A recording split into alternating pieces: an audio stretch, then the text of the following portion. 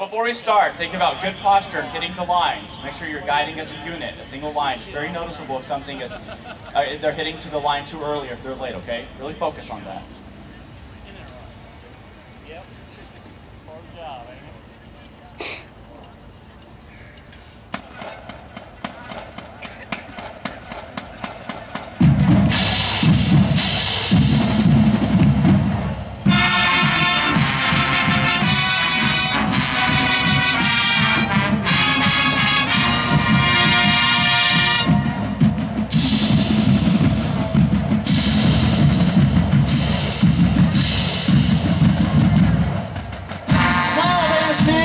There you go.